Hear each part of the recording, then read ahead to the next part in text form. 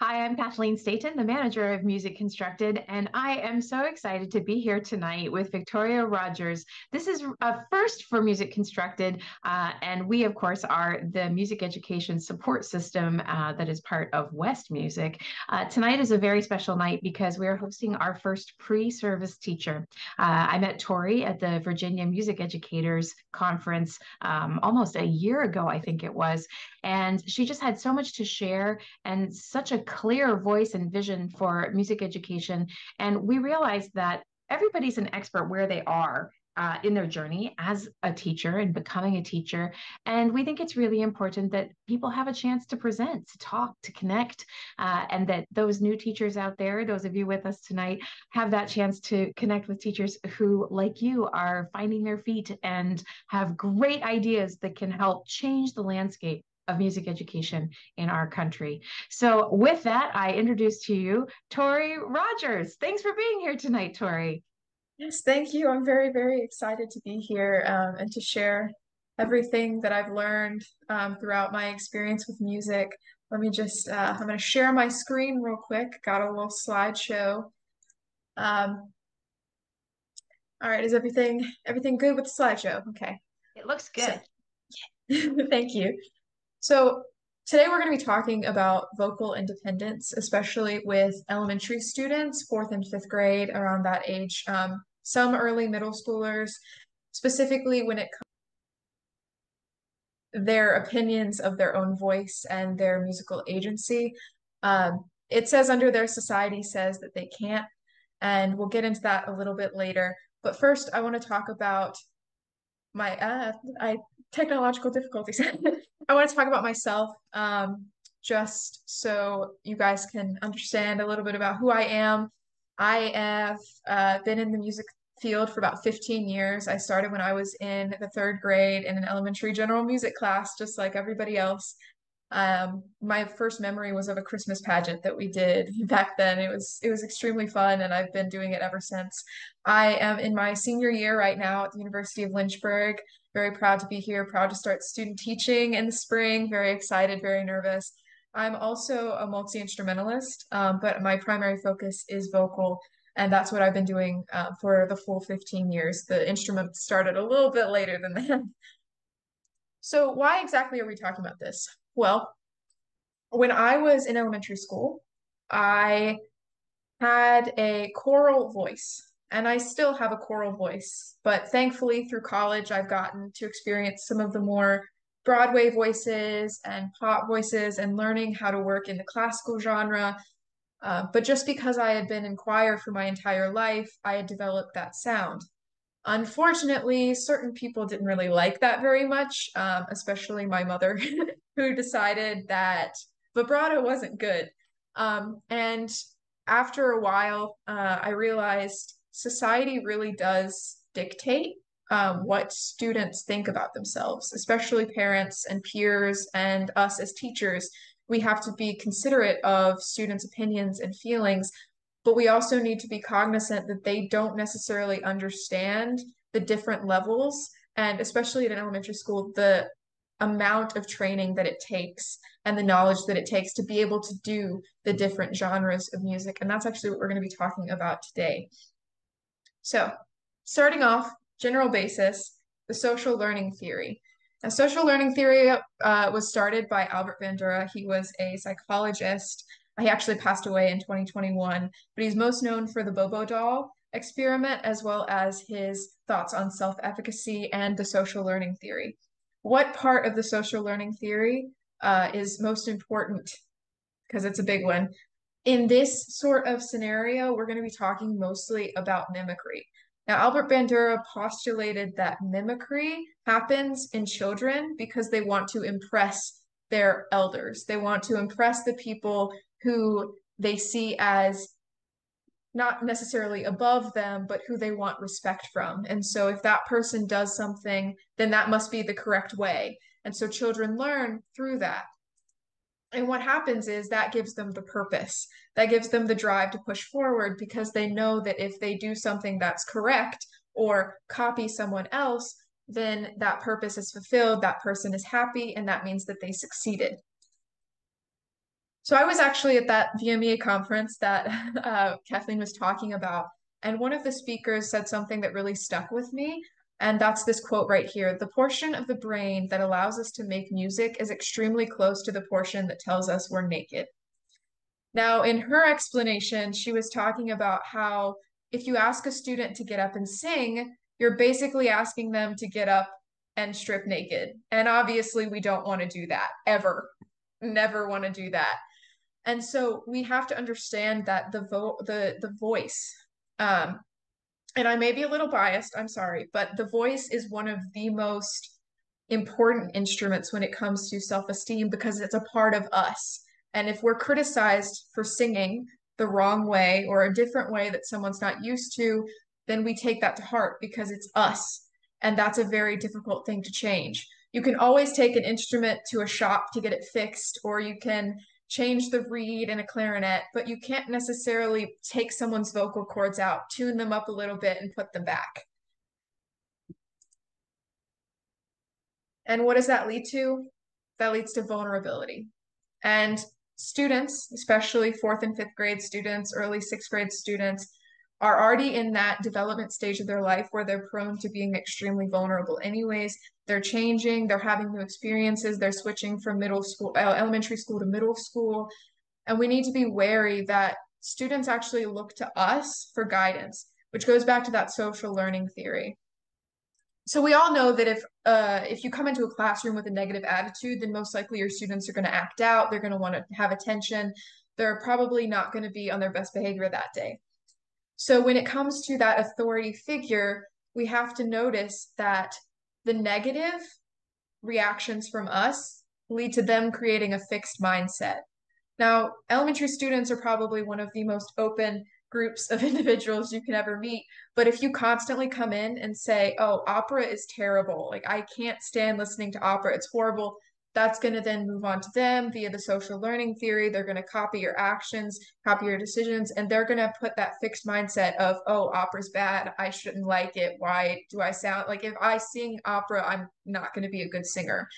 Whereas positive mindsets, that gives them that open that open mindset. If you're positive about everything, like, oh my gosh, I really love that new Cardi B song that's out, or that new like Disney movie. It sounds so great. The soundtrack is awesome then that student's going to be more open to experiencing those. And we see that a lot with multicultural education and talking about sharing music from different countries and making sure that they don't laugh at it or they don't react poorly at it because we want them to understand that that's a different culture and they have different experiences. And so obviously it's going to sound different from us and our music um, or their music, even. Uh, so creating that positive environment Whereas if you have a neutral, which a lot of people don't necessarily think of the neutral because we're so focused on the positive, but that neutral allows them to be more individualistic and have that musical agency where they may be wary of something because they can't grasp whether or not you approve of their actions with it or not, but they're still willing to experience it. So, why did I say society says they can't? Well, music happens everywhere. It's in the classroom, it's out of the classroom. You can see the family dancing right there. It's in the cars, it's in the grocery stores. It's one of the first things that many children experience because of the fact that it's permeated through society. Uh, it's an integral part of many cultures, if not all cultures across the globe. And it's just something that brings communities together which then causes an issue because communities like to choose their favorites,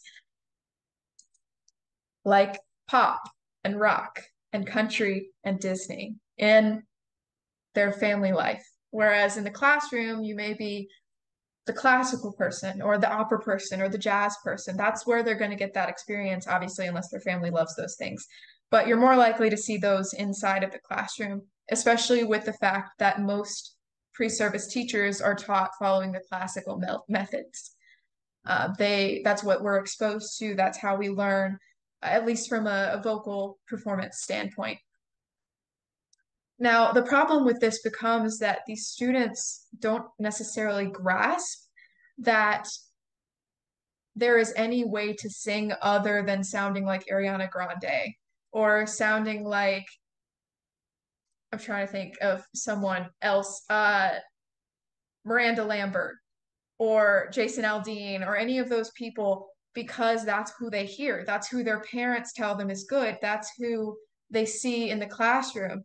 And I know that in the elementary field, we have to focus on making sure that they can relate to our voices. So limiting that vibrato and doing uh, pentatonic scales versus wide ranges of notes. But it's still important that those students understand exactly the, the things that go into it. But they also need to understand that while it is difficult, they are still good where they are now. And that's the main the main concern here. So society dictates self-esteem. I've we've already established this. We know um, we have all those middle school girls who tell you that your outfit's not good enough. uh, so we we know, especially during this this time period, and it's it's complicated because of the fact that you're a teacher and you want to help your students, but you can't do that outside of the classroom. And you may be able to help them form their own identities, but you can't go to a parent and say, let them sing an opera song in the car. Like they want to, they sound good. You may not think so because you don't exactly have that in your top 10. It's not on your Spotify playlists, but it's still good. And as someone who had to work through understanding that my voice as it stands, while yes, training always helps, uh, was not what I would consider to be the greatest thing in the world. It's something that a lot of people did value about me. Um, and I had to come to grips with the fact that I needed to learn versus just do. And that came from the fact that in elementary school, I didn't have that background of here's all of the different experiences you can have. For Disney music, you need to limit your vibrato in the modern. If it's older, then you need to increase the vibrato. With pop music, you have to use more of a uh, a chest resonance, for lack of a better term, versus that head voice that you would see in choir, the open vowels, uh, and truly understanding that my that my voice is good where it is. And as someone who, while I may not have started student teaching yet, I've been in the elementary classroom. I've seen teachers who just explain a genre, specifically jazz, um, and they don't teach students how to do it. Uh, they would play, there's a song, um, it's the scat song, and they play that song, and the kids sing along, but they don't use any technique whatsoever. And while that is a great way to ex- to show students that genre, it's not necessarily teaching them that that genre is good. How it's would you connect that, uh, Tori? Um, if you were going to share jazz in a way that would uh, overcome that barrier of um, explaining the jazz and connecting it to the students? Yeah, so essentially explaining to students the the techniques and ne- not necessarily repeating the same song over and over again. Actually, I mean, if it's possible, finding someone out there who can do jazz, finding someone out there who can sing, getting that representative uh, in order to have another authority figure for those students to look up to, playing back into that social learning theory, or even just if you can't find someone, taking the time to pause and say, listen, we're not singing jazz right now. Like we are singing the genre, but we need to work at it. There's always more to learn, more to do. And explaining to the students that if that's something they're interested in and that they want to do, then they have to take the time to study it. And it doesn't just come naturally, especially in an elementary setting where they're learning to have that more choral esque elementary student sound um, being that community where it's versus the one voice. Um, so uh, that actually goes to my next slide right here of answers of things. I do think that having that cultural representative, having that genre representative, if you will, is imperative. And I understand that's not something that everyone can do uh, because of situations uh, outside of our control, money, uh, various different things that we have to contend with. Um, but having lesson plans in mind that center around the full picture and not just that partial picture of, oh, I need to fulfill this SOL um, or I need to fulfill this standard that my my school puts forth. And even if you don't have that mindset you probably just want to get through it all.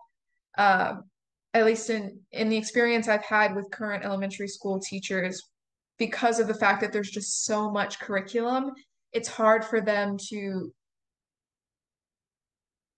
balance everything. Um, and prioritizing the students opinions of themselves at least I feel is one of the most important things that a teacher can do, especially leading them into middle school. Um, and that also would help with students who don't necessarily understand that they can do music in the choral setting. For the reverse, you have students who think, oh, my voice sounds poppy. I can't sing Whither Must I Wander because it comes out sounding like Pink is singing it. And that's not what we want in a choir classroom. We want that uppity, snobby, like soprano, better than everyone else sound. And trust me, I've met those people. Uh, and it helps students, especially if we start in elementary school, know that this field is open to everyone. Music isn't specific, especially in the public school setting. That's it's not specific to choir. It's not specific to band it's specific to learning music and that is it and music is such a wide field that we have to be cognizant that all of these things are out there and take the time to explain that to our students i had a, a student once ask me how exactly i sang along with one of their piano pieces. I teach piano um, at the school here with the elementary school students and she asked me to sing with her while she was playing and she was like how did you do that? How how did it sounded like you were being really quiet but also you were loud at the same time and full of it, i just i don't get it and so i took the time and i explained i was like listen like i have been in choir for my entire life and I know how to blend and my voice just naturally tries to blend even if there's nobody around. I'm still working on it, much like you're still working on piano, but understanding that if you provide them with that area, then they the questions will come. The questions and that that, that need to learn will will happen because they see that that's something you want to do and that you're interested in and they want to be interested in it too going back to the social learning theory uh, yeah i love how you made that bridge i think that is what it's all about right it, it's about put giving them something to to mimic to mm-hmm. copy mm-hmm. To, gain that uh, approval with um, and and that's when when you get that that mimicry yep. and repetition yeah it's repetition is one of the primary things that we learn in ever since my freshman year of college, having that repetition because of the short attention spans, repetition is necessary. And it's also something that we have to prioritize in that you have to know what to repeat. And so having that scaffolded learning of, okay, we can show them this scatting song one day and then the next day try to explain to them how to do it and then the next day we listen to what their ideas are and see if they have any things that they can come up with and it's honestly it, it's it's wide open uh, depending on your classroom. And I I'm very excited to see just how many of my of my future students continue in the music field because of the fact that I plan on explaining to them the differences. And even at the high school level, because I do plan on teaching high school choir, but having them realize if you want to sound like Lady Gaga, you can. You just have to work at it. It's like the voice actors who do the different SpongeBob and Doofenshmirtz and all of those people. They have to take the time to make their voice sound like that, and and you do too. Uh, so just because, like Kathleen said, I am a pre-service teacher. I haven't exactly been in the field yet. I did have um, some questions that are going to be going out along with this video for people who want to respond uh, via email or any of that. My information will be sent along um, by, by, by Kathleen. But just some basic general ideas of anyone who has experienced this themselves, not necessarily their students, as as a as a singer or a musician if anyone has experienced it on their own personal level and how that made them them feel. But also the students as well. Have any have any students that um, that have been had experienced that and that you've seen in the classrooms I think students come into classrooms with a, a, very preconceived notion of what they're supposed to do, how they're supposed to sound, and also what's going to be taught. And so that, you know, one of the really important reasons for having this session at the beginning of the year is mm-hmm. allowing um, the teachers to to you know stop for a second and uh, ask themselves w- what kinds of music are they presenting to their students and then how are they presenting those kinds of music to their students so you know so much too of being in the classroom is meeting the students where they are mm-hmm. So great if you're exposing them to scat and to jazz, and great if you're exposing them to the blues and country music um, and other cultural musical traditions. But at the end of the day, I think that the key is that one, what do you want to achieve with that? You know, how are they shaping their voices? How are they they're growing their pitch centers and things like that? Um, and then two, why do they care? Mm-hmm. That that sort of sort of correlating jazz and its context to the students and where they are, I think is as much a part of it as understanding that they can do it. Uh, exactly. Uh, here are the skills to do it. And here's why these people did that and mm-hmm. all of those things. Obviously, you, it's tougher to scaffold that down to the little kids. Um, but uh, if, if it was the little kids, you know, then it's fun to substitute um, syllables for words. You can do it in speech, you can do it in singing. Uh, there's all kinds of ways that you can relate to that. But I also wanted to ask you to unpack a little bit more too about the about that gender norms idea, and if you had thoughts about what what do you think that the impact of um, of society today has on students as they're forming their ideas about their voice and themselves. And I really liked how you put that at the beginning of the session that the voice is you. It's not yeah. of it is you. So how do you think that uh, plays into this whole discussion? There is an inherent part of you that wants to despite the social learning theory, be who you are. And obviously, developmental things like social learning theory happen at that age where students just they want to copy. But if there's a student who knows deep down in their heart that they don't fit what society wants them to be, such as individuals who are non-gender conforming, non-binary individuals, trans individuals, and yes, those some happen at the other, but there are students who know that. And then fourth and fifth grade, I had a friend who actually knew even back when it wasn't necessarily considered um, a big thing for students to talk about because it was so shunned back then. It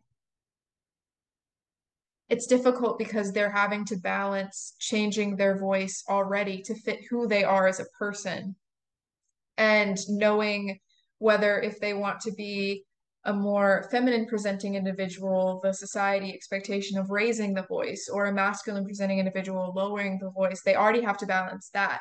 But then adding music on top of that is something that can cause students even more stress and even more anxiety because they're already they already understand that society doesn't see them how, how they know they are but then adding in society doesn't see me as a singer who can actually sing even though i love music and i love to be able to put that into the ether and put it out there and express myself in that way I can't be who I am and still sing the way I want to. So you have on one hand the student who identifies as their as their sex uh, or their gender assigned at birth and they have that pressure of fitting into the vocal styles fitting into what society likes but then you have the double standard of the students who know society does not consider what they feel in their heart to be true, plus the fact that society says, already says that, and honestly, it sounds trivial at that point, that they don't even, they don't fit in their body. But additionally, they don't fit in their heart as well with their voice. And that completely obliterates any sense of self, especially for singers, because as I said, the voice is you.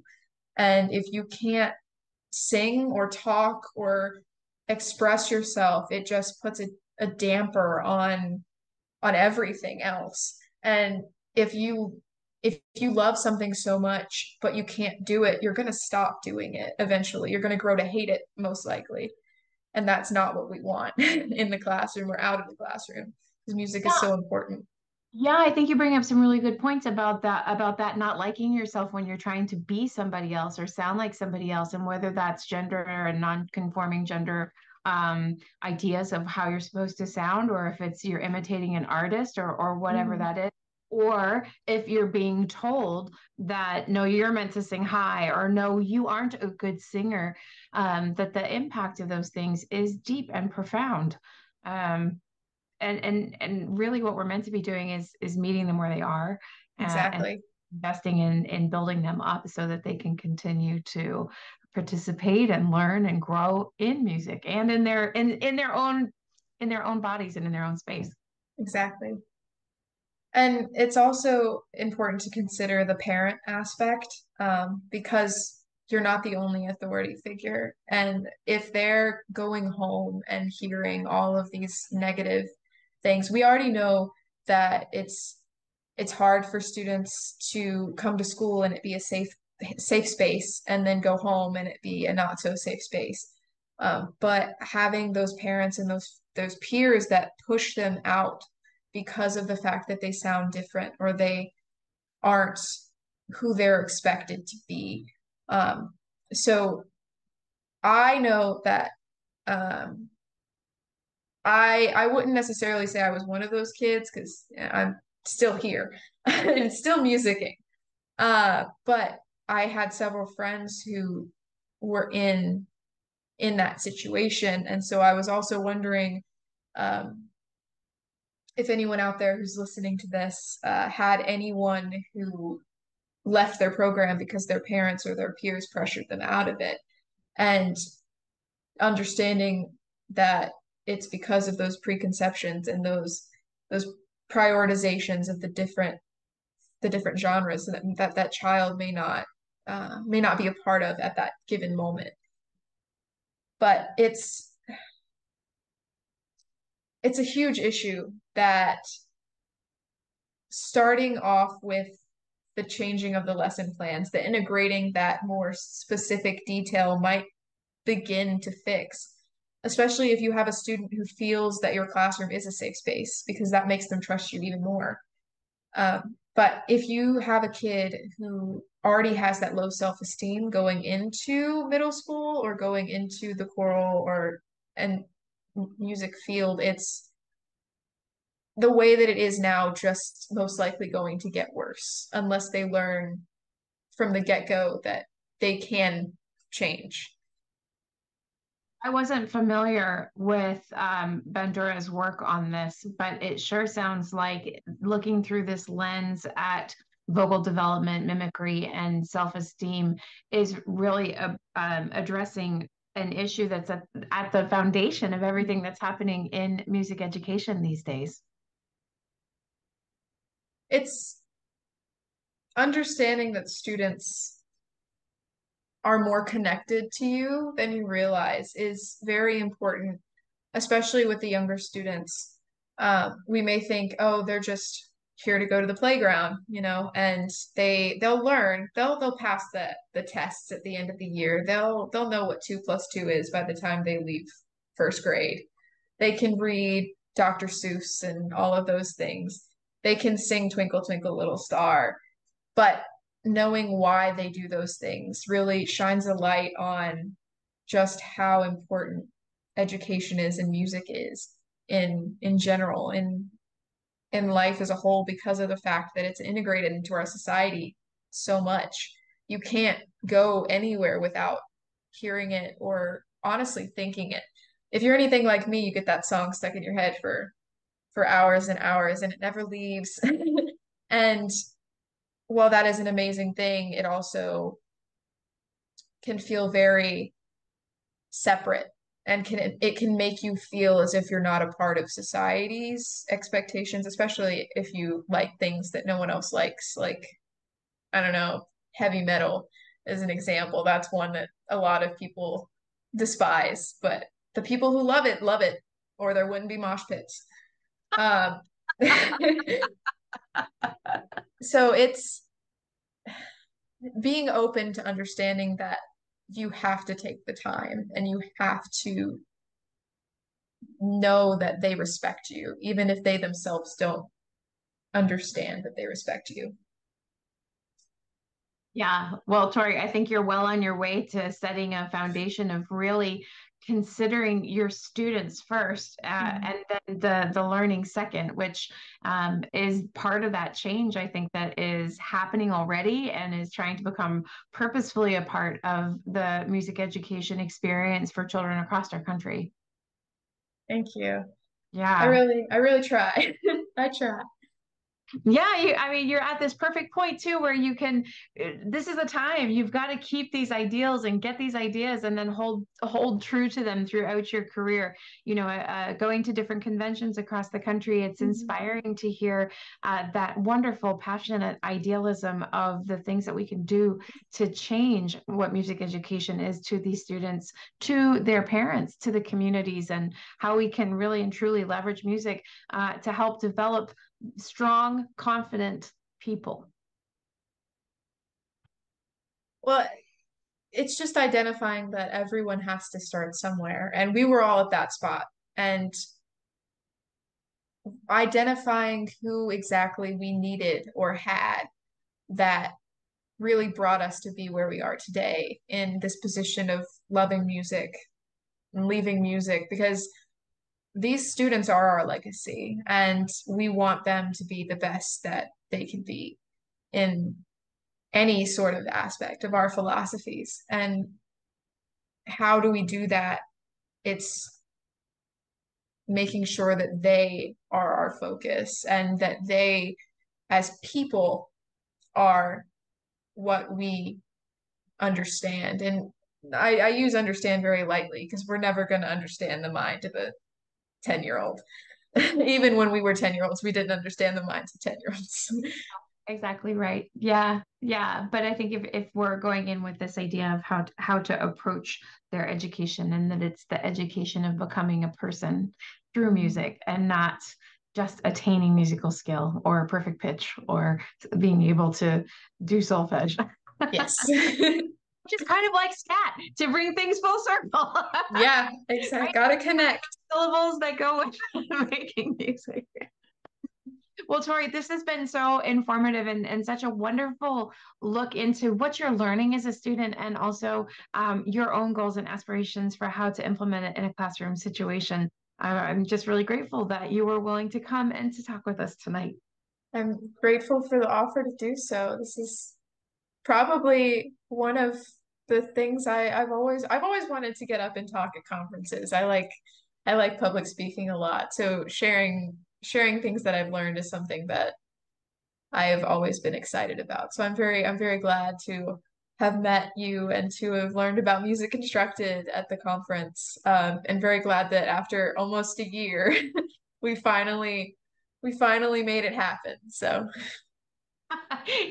yes, uh, after a year we did, but it takes that much time to get those ideas to come to fruition uh, and put all the plans in place, and of course all the hard work and research that you had to do to be ready to to present on this. Well, we look forward to having you back on our platform and hope to see you at music education conferences across the country in the future. Yes, I look forward as well. Thank you so much.